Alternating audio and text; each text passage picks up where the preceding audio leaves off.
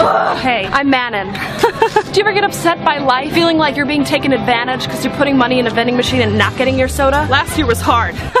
so I'm gonna give you some tips and tricks on how you can walk that tightrope that we call life. You're not walking a tightrope. You're not walking on anything. Ugh, my motto is, if you fall down, stay down.